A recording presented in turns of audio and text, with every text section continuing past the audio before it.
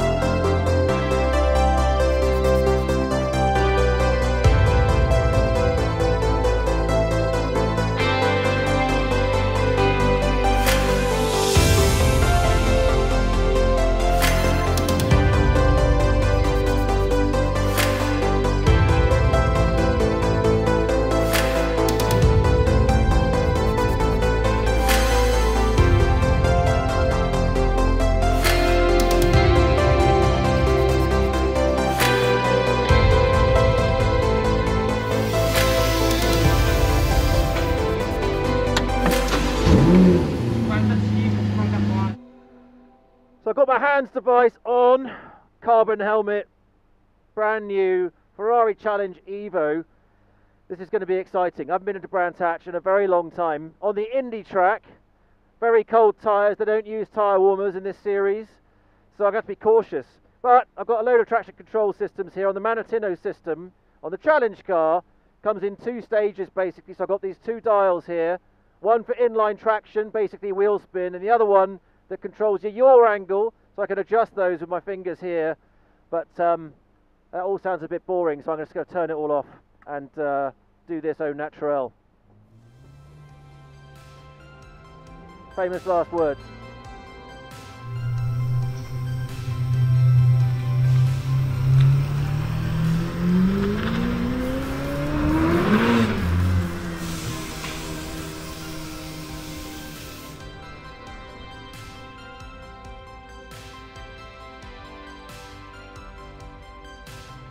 It has been a while since we've been down the pit lane at Brands Hatch. Right, let's get the pit lane speed limiter on.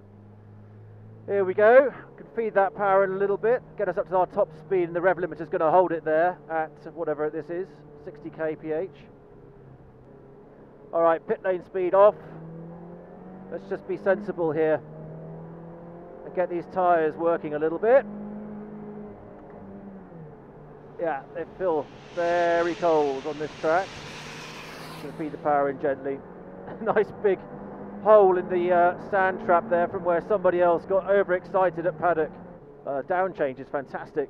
It's got this uh, paddle shift gearbox. It's so seamless. Let's put power in. Oh, oh yes. You feel that wheel spin. Still, it's all good stuff. Working these tyres in. Oh, there we go, baby.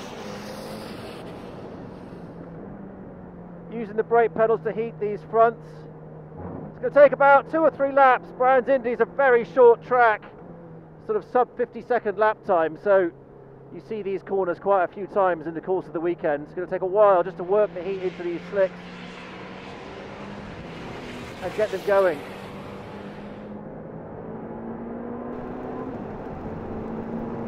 Even in the straights, you can feel these cold tyres shivering around a little bit.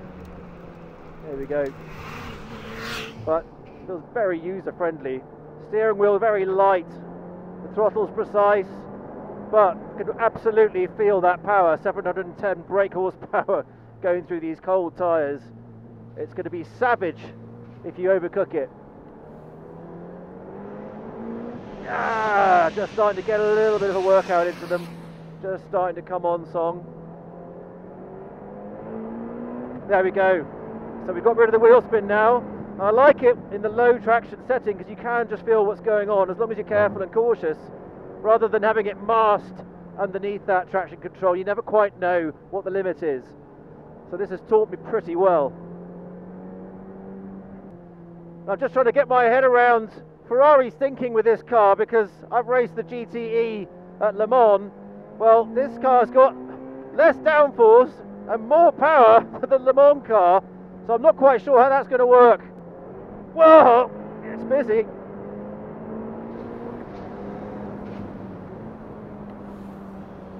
Oh, it's very precise though. Steering is so light, but you can be very delicate. The car really goes where you want it to. Very, very good balanced kind of feeling. You'd expect that from a mid-engine car. But coming onto this straight, it's so much power. You've got to be cautious. Anytime you've got steering lock on with the power down, that that torque doesn't turn you around. The straights don't take very long, that's for sure. Ah, just lovely. A thing of beauty. Way up. There we go. Can really dig into this brake pedal, very deep into the corner. Nice little bit of understeer at the apex, and then she livens up on the way out. Line critical through here at Surtees. Take a little bit of curve just to try and shortcut that apex. when that power comes in, it comes in hard. It is busy. I've been around this track a lot of times in different cars, but I've never spent this long coming onto the pit straight, hanging on and feeling for grip through those rear tyres. There's just so much torque. Very different to the Le Mans car. The Le Mans car is a much more aerodynamic beast, and you kind of elevated in terms of your cornering speeds, but you just don't feel that surge of power like you do in this thing. It's bestial. Absolutely feel that this is the big brother to the F8 Tributo that we had out last time. but just absolutely brought alive on these slick tyres. It's fantastic to really feel it making the most of the grip. Beautiful car, so responsive here. It's just strange to be in a, a sort of lower down the rungs of motorsports ladder in a car that feels like it's got more performance than the actual Le Mans one on which it's based. But on these slicks, it really comes alive, making the most of that grip. And 50% more downforce than the previous challenge car, and it needs it because of this extra power flying through it. Beautiful on the brakes. Brake later there. Late turn into Paddock Hill. Got to watch out as you come down into the compression. You hit that bump diving for the apex into Druids, down to second, keeping the revs up a little bit of gas, a bit of understeer, and then she's snapping round. Down to third for Graham Hill, trying to square this off. A little bit of resistance in the front end, which is okay to start with, I'm just getting the rotation, and careful, oh my lord. Coming onto this pit straight, you've got to be on your game. Into seventh gear on the brakes of Paddock going to leave my turn in as late as possible and leave that a little bit later next time. Here we go, power on. Oh, that big bump. A little lock up there, but the ABS just saved my bacon and I made it for the corner. Oh, real lifesaver. Okay, come on, let's get you in there. Oh, it's braking so late. It really is supportive. Come on, baby, here we go. Oh! Using every inch of the road on the way out of Clearways. This car is ridiculously fast. Can't switch off for a second. Come on, here we go. Into the apex. The power down. Woohoo! Not so late this time. I'm going to keep it a bit more tidy. Keep my minimum speeds. Oh! Coming out. Jeez. I'm sorry guys, but I'm going to have to pay attention now. Here we go. A 360 degree lap of Brands Hatch. Full pelt. Going to line myself up for a good exit out of Clearways. Let's see what kind of lap time we can produce here.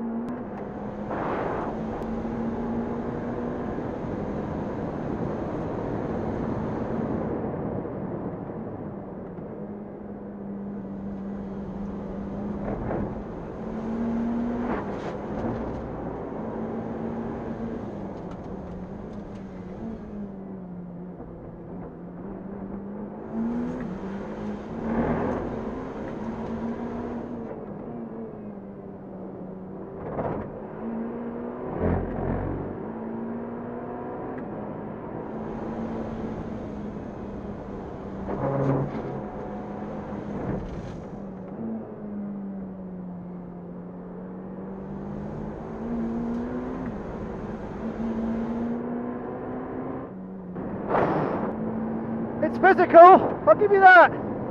Woo! It's a busy lap, braking very late into paddock, getting down the gear changes. Oh man, this is raw! Absolutely raw! It's hard to know what to compare it to. It's so different to the Le Mans car because oh, the power is just sensational shooting you out of the corner and trying not to overdrive it on the exits but I'll be honest I don't know that I'm succeeding. Oh, hammering these curves just abusing this beautiful machine to cut the corner as best I can. Well, it is the workout. It's been a little bit of time since I've been around here as well. I think I better come in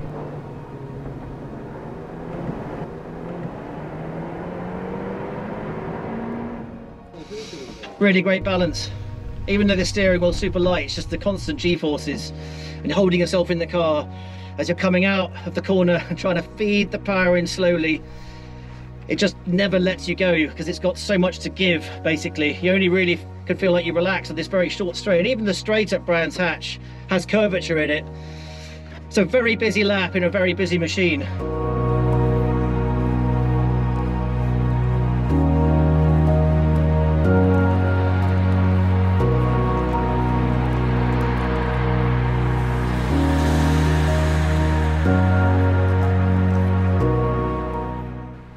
Learned something today because I came here thinking that if you're a professional racing driver, you should drive the car raw, no traction control, rely on balance and instinct to control the machine and set the fastest time.